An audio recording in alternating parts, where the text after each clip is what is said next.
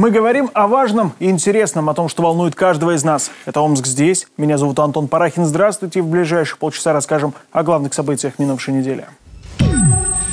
Интрига или кадровый голод? Губернатор Назаров выдержал паузу и назвал своих кандидатов в избирательную комиссию по выборам мэра.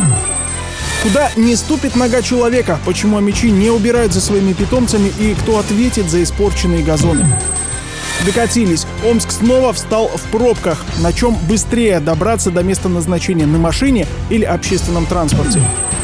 Память по расписанию. Вечный огонь погас на его содержание. Не хватает денег. Чиновники заявили, что гореть он будет 17 дней в году.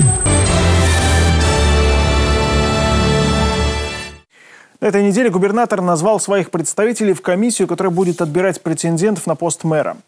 Это Лидия Герасимова, секретарь Общественной палаты Омской области, Сергей Тодоров, управляющий отделением Пенсионного фонда России по Омской области, Дмитрий Васильев, главный дирижер Омского академического симфонического оркестра, Вадим Бережной, главный врач клинического медико-хирургического центра Виктор Бобырь, глава Совета непарламентских партий Омской области Александр Кузяков, паралимпиец, чемпион мира и Европы по фехтованию. Напомню, теперь городоначальник будет не всенародно избранный, а тот, которого выберут депутаты Горсовета. Половина комиссии из депутатов и почетных граждан Омска была названа еще 22 февраля, и через 15 дней еще шестерых должен был представить глава региона. Однако сделал он это позже. Его заместитель вовсе обмолвился, что решение озвучит не раньше 17 марта. Политологи уверяют, на самом деле Виктор Назаров мог бы определиться с членами комиссии за 15 минут. Одни такое затягивание времени объясняют интригой, другие – отсутствием кандидатов на пост мэра. Кадровая проблема в политической системе Омской области и города Омска у нас есть давно. А у нас это выхолощенное поле, потому что а, долгое время правила одна элита и расставляла на диспозиции тех, а, кто был интересен ей. Новая элита формируется очень медленно и выхолащивается отъездом из нашего региона и тем, что регион инвестиционно непривлекателен, поэтому каких-то особых политических амбиций у нас здесь не заявляет никто. Он показывает, кто в доме хозяин. Кто в доме хозяин. А здесь интрига высший пилотаж. И вот он показывает, что да, пока я не пошевелюсь, вы будете здесь крутиться и думать. Не зря даже говорят, что возможен перенос всего этого рассмотрения на потом, когда будет э, следующий состав депутатов городского совета. Скорее всего, выборы будут, возможно, будут э, мэра проводиться э, в сентябре и даже в октябре. На этой неделе в городском парке Победы погас вечный огонь. Инцидент вызвал серьезный резонанс. Оказалось, на содержание мемориала нет денег. И гореть он будет, как заявили в департаменте городского хозяйства, только 17 дней в году. Однако на ситуацию тут же отреагировал мэр Двораковский, заявив, что вечный огонь в парке Победы погас из-за технического сбоя. Тот, кто допустил это, будет наказан. Ну а губернатор во время торжественного открытия мемориала заявлял, что этот вечный огонь будет гореть всегда, пообещал вернуть его на баланс области, если в мэрии не смогут найти деньги. Напомню, что «Вечный огонь» в прошлом году уже газ, но тогда это было связано с ревизией. Сейчас пламя вновь зажгли. Чиновники подсчитали, кто больше всех мусорит в Омской области. Оказалось, крупные офисные центры, гостиничные комплексы и образовательные учреждения выбрасывают сотни тонн отходов в год. Специалисты вывели и норматив для жителей многоэтажек – 7 литров мусора или 1 килограмм в сутки на одного человека. Независимые эксперты считают нормативы завышены, а значит цена за вывоз мусора вырастет в несколько раз. Платить по новым квитанциям амичи начнут с начала следующего года. Неясно и куда бытовой мусор повезут через несколько месяцев на городских свалках будет за запрещено даже накапливать отходы. Правительство региона в срочном порядке ищет места для новых мусорных полигонов. Один из них может появиться в Омском районе, в 25 километрах от города и в 500 метрах от деревни вперед. Об этом рассказывают местные жители, которые крайне обеспокоены таким потенциальным соседством. Мой коллега Дмитрий Ковалев побывал на месте и попытался выяснить, где же в итоге будут складировать отходы. Они не митингуют и не скандируют, только ждут, когда кто-то из чиновников объяснит, будет ли рядом с их домами новый полигон коммунальных отходов. Валерий Ядровский живет в деревне «Вперед» уже почти 20 лет. Мужчина уверен, если появится свалка, то оставаться здесь никто не захочет. Отходы на ближайших полях хранить нельзя. Рядом с деревней много мелких прудов, которые впадают в омь. Вся эта беда пройдет через Омку, через овраги. Она пройдет в Омку и побьет в Иртыш. И, дорогие мечи, вы будете пить свое же не будут довозить мусор до помойки. Его вывалят в ближайшем лесу, кувете где-нибудь. Все равно это все бросится. Люди боятся из-за свое здоровье. Здесь нет водопровода. Питьевую воду берут из колодцев. И уверены, отходы отравят грунтовые воды. Обращения к главе поселения, района и министрам пока остаются без ответов. Всем обидно за то, что такую красивую деревню, такие красивые места хотят загадить. Рядом находится психоневрологический интернат. Это оздоровительное учреждение. По Санпинам возле оздоровительных учреждений нельзя э, располагать э, э, полигоны ТБО. По заказу областного министерства строительства была разработана карта размещения полигонов твердых коммунальных отходов. На ней таких мест 8. Рядом с Называевском, Калачинском, Шербакулем, поселком Большеречье, в Таврическом и Павлоградском районах. Еще два полигона могут появиться в Омском районе. В официальном ответе Министерства строительства и ЖКК Омской области нашему каналу пояснили, пока в приоритете всего 4 территории для строительства. И деревни вперед в этом списке сейчас нет. Целях реализации полномочий по организации деятельности по сбору, транспортированию, обработке, утилизации, обезвреживанию и захоронению твердых коммунальных отходов Минстроем Омской области определены для города Омска и прилегающих районов четыре основных направления строительства полигонов. Это Таврический район и Омский район, Большереченский и Называевский муниципальные районы Омской области. Экологи уверяют, новые полигоны должны находиться вдалеке от населенных пунктов, и согласовать их строительство с жителями ближайших поселков чиновники обязаны таких жестких правил, на которые могут сослаться чиновники, нет. В любом случае население должно влиять на этот процесс. И если рядом располагаются реки или высокий уровень подземных вод, или с подветренной стороны на небольшом расстоянии находится, то, конечно, на мой взгляд, жители должны высказать свое требование. Сейчас ситуация с вывозом мусора в Омске критическая. Единственный действующий полигон не имеет лицензии. Ленинская и Кировская свалки переполнены, но на них продолжают свозить отходы. Мы э, для себя даже рассматриваем варианты, ну, как некий крайний, вплоть до предложения объявлять в городе режим ЧС, то есть чрезвычайной ситуации. И пока полигон лицензированный не появится для города Омска, те э, свалки, как мы их называем, ну, э, кто-то называет их полигонами, их открыть и вот в режиме, э, режима чрезвычайной ситуации производить там утилизацию твердых бытовых отходов. Единственный выход, считают общественники и экологи, после строительства нового полигона оставить его в собственности муниципалитета, чтобы он приносил прибыль. Вмешательство бизнесменов предлагают ограничить. Именно их многие теперь обвиняют в мусорном кризисе в Омске. Дмитрий Ковалев и Евгений Русенко. Омск здесь. На чем быстрее передвигаться по городу на автомобиле или на общественном транспорте? Результаты нашего эксперимента после небольшой рекламы. Оставайтесь на продвижении.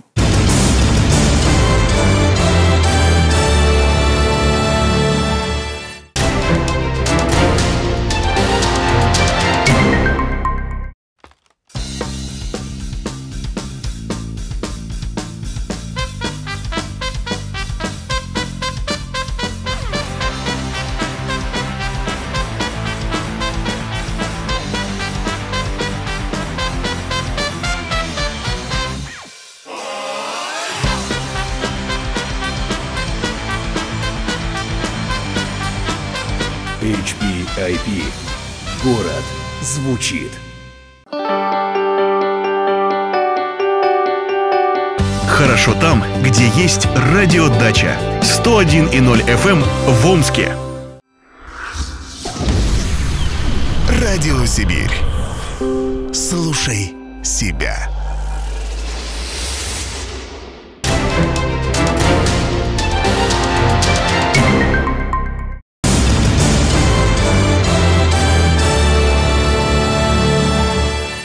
Летом амичи смогут проехать на общественном транспорте всего за 1 рубль, в том случае, если это будет вторая поездка в течение получаса. За первую поездку надо будет заплатить 21 рубль. Ну а к осени в Омске должна измениться маршрутная сеть. Ее разработкой займутся эксперты из Санкт-Петербурга за 2 миллиона рублей. Обещают, пробок в городе должно стать меньше, а пока на этой неделе движение в Омске вновь было парализовано. Причем добраться до работы или домой на личном транспорте можно было ничуть не быстрее, чем на общественном. Моя коллега Светлана Иловнарова провела experimento.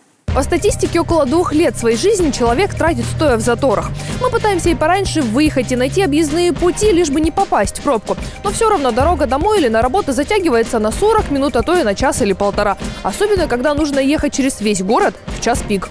Мы решили проверить, какой вид транспорта быстрее всего доставит пассажира от 25-й линии, здесь я работаю, до железнодорожного вокзала. Там живу. Преодолеем этот маршрут на трамвае, личном автомобиле и маршрутной «Газели». Оценим комфортность, время, проведенное в пути и стоимость. Поехали! Начнем с железнодорожного транспорта. С этой остановки до ЖД вокзала идет трамвай номер 9. В принципе, единственный трамвай на этой остановке. Нам повезло, и он приехал очень быстро. Запускаем секундомер.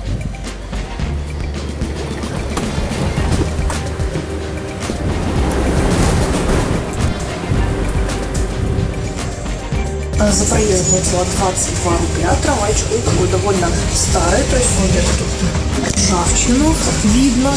Сиденья деревянные. Ну, не скажу, что очень удобные. Очень часто? А почему это завода не маршрут двигатели или там,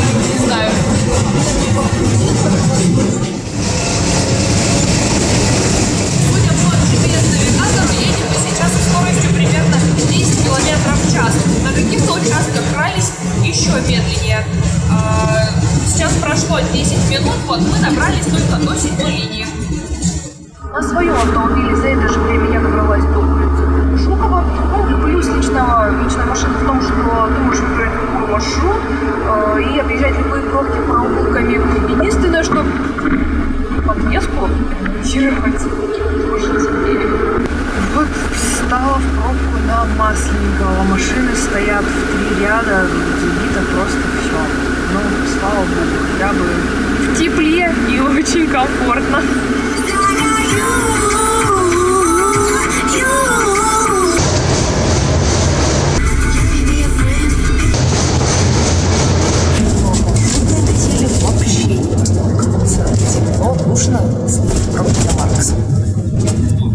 Газетисты, в принципе, могут иногда и протиснуться, обогнать всех, но нарушая правила. Быстро, поэтому я езжу на газелях и на, и на автобусах. Мне время нужно. На таймере 20 минут, и мы уже подъезжаем.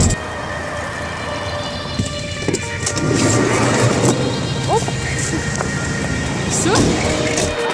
Добрались до ЖД вокзала за 22 минуты. Хороший результат. Э, В пробках практически не стояли. Э, Маршрутка вот доезжала уже полупустая. Вот, железнодорожный наш вояж закончен. На этом мы потратили.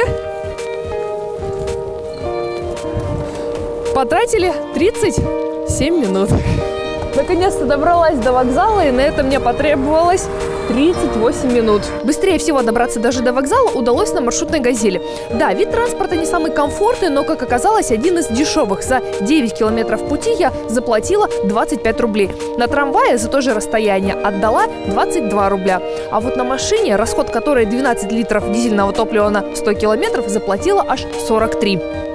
Но, конечно, какой вид транспорта выбрать, решать самим мечам. Светлана Еловнарова, Константин Демиденко и Артак Мурадян. Омск здесь. У заключенного под домашний арест украли стационарное контрольное устройство. Прибор, который позволяет отследить, где находится осужденный. Оказалось, жителю Селькуля захотелось выпить. Снять браслет с ноги он не смог, а потому решил прихватить с собой маяк, положив тот в пакет, чтобы электроника не зафиксировала отлучку. Распивая алкоголь с собутыльником в здании местного автовокзала, мужчина ненадолго отлучился. В это время новый знакомый похитил пакет со стационарным устройством. Зачем? Остается только гадать. В итоге незадачливому вору грозит до двух лет тюрьмы, а обладателю браслета 15 суток. К другим темам. Из-под снега появились первые подснежники, но не те, что радуют глаз. Весна показала, где выгуливали собак. На газонах, детских площадках, словом, везде, куда ни встань. Проблема останется даже после того, как сойдет снег. Ответственных собаководов в Омске по-прежнему меньшинство. Можно ли как-то воздействовать на недобросовестных, разбирался Дмитрий Куканос. По утрам и вечерам омские дворы и скверы превращаются в отхожие места. Подтаившие сугробы скрывают слой собачьих экскрементов. Владельцев собак это нисколько не смущает. Скажите, пожалуйста, а вы за своей собакой убираете? А зачем? Вас не смущает ну, то, что это как-то некрасиво? Вы наверняка здесь живете где-то. Да, рядом. Да ну бросьте, снег растает, земля появится, видно ничего не будет. Угодить в западню может каждый на тропинках, пустырях и даже детских площадках. Пешеходы внимательно смотрят под ноги. Мамы пристально следят за детьми. Очень неприятно, конечно. Ну ходить как? Не убирают за собой. Желательно, конечно, чтобы убирали хозяева за собой, когда выводят своих животных. Надо делать отдельные значит, места, где будут прогуливаться собачки с хозяевами. Они должны убирать за своими собаками, как это делается, по-моему, везде, вот в, в, на Западе. Но за рубежом проблему решают жесткие правила. В Америке штраф за выгул без поводка – 300 долларов, а в Германии владелец платит за своего питомца налог от 100 до 700 евро в зависимости от породы. Уборка во время выгула даже не обсуждается. В России к нарушителям относятся проще. Правила содержания собак были прописаны в решении Горсовета. И помимо прочего, в них был такой пункт. Владельцы собак должны не допускать загрязнения мест общего пользования в жилых домах, а также дворов и тротуаров. То есть, другими словами, делаешь два шага, и уже присевший на газон песик ничего не нарушал. Штраф составлял 100, максимум 500 рублей. Да и наказывали рублем лишь немногих заводчиков. Но уже более полутора лет и такой санкции не существует. В 2015 году этот свод правил был отменен. В Омском городском совете не могут принять муниципальный закон потому, что подобного нет в региональных актах. А он, в свою очередь, не издан потому, что и на уровне э, Федерации, на уровне Государственной Думы еще закон не принят, он обсуждается уже несколько лет. И, как нам объясняют вот из экранов телевизоров, что э, много очень предложений, много очень поправок от населения, от общественных организаций приходит. И вот эту гору э, предложений и поправок э, вот никак не могут уже э, как бы обработать, чтобы принять в окончательном виде. А пока все зависит от сознательности самих собаководов. Но сами они не хотят об этом думать. Одни, завидев видеокамеру, ускоряют шаг, другие уходят в противоположную сторону. За час нам попалась только одна ответственная амичка. А ведь цена вопроса всего несколько сотен рублей. Есть вот такой конструкции совочек. Одевается сверху мешочек. Вот, за, захватываем. И все, и просто потом убираем, и даже... И руки остаются руки, чистыми, да? Да, мы даже не прикасаемся. Удобный захват или простой совок, еще мешочки. Выбор в зоомагазине небольшой. Продавцы говорят, что таким товаром покупатели редко интересуются. Да и на полках он появился благодаря двум постоянным клиентам – семейной паре из Италии, приехавшей на работу по контракту. И они, кстати, нас э, сподвигли на то, чтобы ассортимент расширить в этом отношении. И мы ставим их в пример вот, э, многим людям, чтобы хотя бы они задумывались, что надо убирать за животным, не, то, не просто кормить. Дмитрий Куканов, Артак Мурадян и Павел Ходынский. Омск здесь. Выросший штраф за неочищенные крыши жилых домов от снега и наледи заставил коммунальщиков трудиться активнее. Теперь за недоработки платить придется не 40, а 250 тысяч рублей. Впрочем, даже столь жесткая мера действует не на все управляющие компании. Почему? И что делать жильцам домов, если коммунальщики не хотят работать? Об этом в нашей студии мы поговорим с начальником государственной жилищной инспекции Сергеем Плисовым. Сергей Владимирович, здравствуйте. Здравствуйте. Сергей Владимирович, ну э, вот как последняя проверка показала и как предыдущие проверки показывают, насколько эффективно, насколько активно, насколько качественно крыши домов, это сейчас актуальная проблема, э, очищают от снега, от сосулек, от наледи?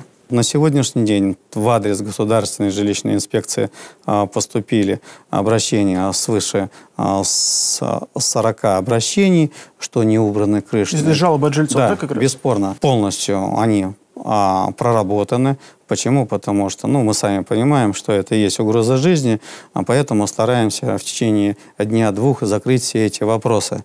То есть и личный состав это понимает. А, выдано свыше 24 предписаний, вот именно по этим обращениям. Сергей Владимирович, а вот э, от этого момента, когда вы выявили нарушение после обращения жильцов, э, предписание выписали, вот сразу штрафуют? Или они как-то могут вы еще знаете, там вот на увиливать день, от ответственности? Да. Нет, ни в коем разе здесь от ответственности никто не может уйти. Выдается предписание, если это предписание не исполняется в срок, срок, значит, идет на удвоение штрафа. То есть составляется протокол, там по 19,5 э, это уже удвоение штрафа в размере 500 тысяч. Но я не знаю. Сколько на исправление, вот вы говорите, времени дается? Вот ну, вы выписали предписание, сколько это дней? Это в зависимости от инспектора. Достаточно управляющей организации в течение там двух трех дней, то есть произвести уборку с крышных кровель. Накануне появилась информация, некий отчет да, от мэрии, что 75% снега из Омска было вывезено.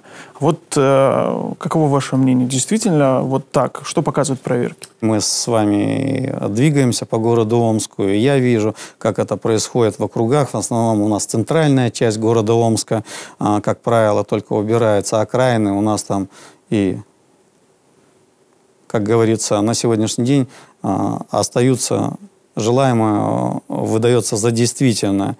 А вот то, что территория со дворов а, снега, то есть не производится уборка территории, это соответствует действительности. Я бы, наверное, а, такими цифрами не разбрасывался, и, скорее всего, это в районе 25%. Я не исключаю, что, да, я прекрасно вечером также двигаюсь по городу Омску и вижу, что техника работает, работает, но работает она довольно-таки слабо. Если жильцы недовольны качеством э, работы управляющей компании, там снег у них там на крыше лежит, сосульки свисают, угрожают здоровью жизни э, жильцов этого дома. Что им делать? Если действительно на сегодняшний день у вас существует такая проблема, э, стоит вы в письменной форме и не поленитесь, придите по адресу Булатова 68, телефон приемный 69 37 28. Вы можете в любое время с полдевятого до 5-45 обратиться в приемную или а, государственной жилищной инспекции. Надлежащим образом будет оформлено обращение, и в коротко сжатые сроки будут предприняты все необходимые меры, вплоть ну, даже в телефонном режиме, если управляющая компания на сегодняшний день дорожит своей лицензией, которая выдана на право осуществления данной деятельности, они, как правило, прислушиваются даже достаточно телефонного звонка. Спасибо, Сергей Владимирович, что нашли время и пришли к нам в студию. Ну а после рекламы расскажем, почему женщины в Омске довольствуются своей долей и на многое не претендуют. Оставайтесь на продвижении.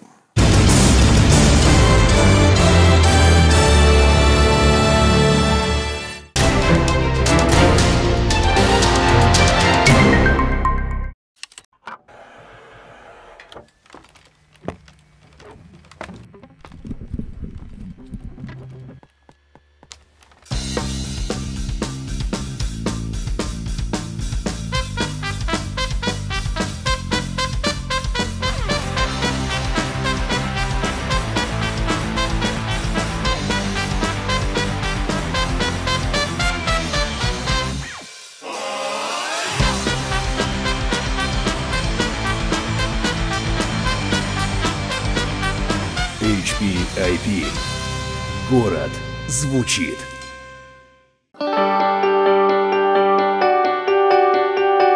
Хорошо там, где есть радиодача. 101,0 FM в Омске. Радио Сибирь. 103,9 FM в Омске.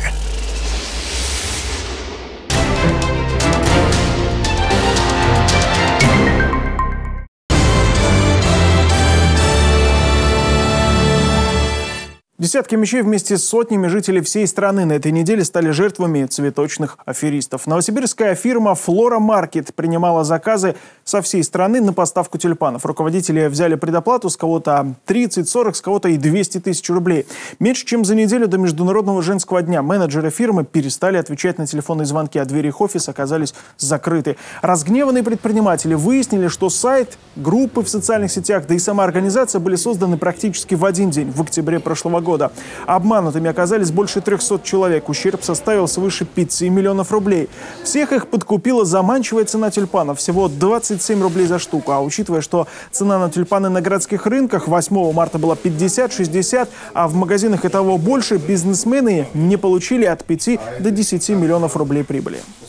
Чего хочет женщина? На этой праздничной неделе такой вопрос задавал себе, ну, пожалуй, каждый мужчина. А вот социологи знают ответ, по крайней мере, на вопрос, что хочет женщина от своей работы. К слову, нынешнее поколение дам, в отличие от пресловутых Клары Цеткин и Розы Люксембург, за равноправие не борются, по крайней мере, карьерные. Ольга Кочкурова расскажет подробнее. Социологи одного из крупных рекрутских сайтов в преддверии Международного женского дня проанализировали 75 тысяч резюме мичек и сделали вывод – у них нет карьерных амбиций. И только треть женщин, ищущих работу, претендует на руководящие должности. Например, среди соискателей на позиции топ-менеджеров только 28% резюме принадлежит женщинам и 72% мужчинам. Похожая ситуация в сфере IT, где традиционно предлагают высокий заработок. 9% резюме от женщин против 91% от мужчин. А вот не в такой престижной сфере, как торговля. В числе претендентов абсолютное большинство именно женщин. Продавцами хотят быть 74% женщин и только 26% мужчин. 87% резюме бухгалтеров тоже от представительниц прекрасной половины человечества. Они также хотят найти работу в сфере рекламы и маркетинга. Чаще всего работу ищут амички от 25 до 30 лет – 35%. И в возрасте 20-25 лет – 31%. Каждое пятое резюме размещают женщины в возрасте 30-35 лет. Каждое десятое в возрасте 35-40 лет. То есть большинство женщин после 40 работу не меняют или становятся домохозяйками. И вне зависимости от возраста у абсолютного большинства соискательниц невысокие зарплатные ожидания. Так, например, в сфере маркетинга и рекламы женщины согласны получать на 8% меньше, чем мужчины. В госсекторе разница 11%, в медицине 20%, в образовании 25%. И самый большой разрыв в зарплатных ожиданиях у специалистов IT-сферы 33%. Исследователи полагают, что сейчас размер зарплат женщин соответствует тому уровню, который был у мужчин 10 лет назад. Так, в среднем амички надеются зарабатывать около 19 тысяч рублей. А вот мужчины не хотят получать меньше 24. И последнее. Омский «Авангард» продолжает борьбу за Кубок Гагарина матчами против Акбарса. Никогда в истории КХЛ в плей-офф а мячи казанцев, что называется, не проходили. И я думаю, многие будут рады, если эта традиция нарушится. Но сейчас о другом хоккее. В эти же дни в Барнауле мальчишки с Алтая, Красноярска, Новосибирска и Омска бились на турнире памяти Алексея Черепанова. Воспитанника алтайского и омского хоккея, выдающегося молодого проспекта, не стало в 2008 но о нем помнят и быть похожим на него хотят многие начинающие хоккеисты. Алексей, с одной стороны, был простым мальчишкой, добрым, отзывчивым. С другой стороны, он был очень таким упорным. Он всегда, э, он еще в три года сказал, что я буду работать хоккеистом. Я считаю, что это важно прежде всего для ребят, потому что, э, как говорится, ну, мальчишка из села достиг таких успехов своим трудом. Э, поэтому у всех, у каждого ребенка есть шанс э, в этой жизни, чтобы заиграть на, высокий, на высоком уровне. Пусть ваши ожидания всегда оправдываются. Это была программа «Омск здесь». До встречи через неделю.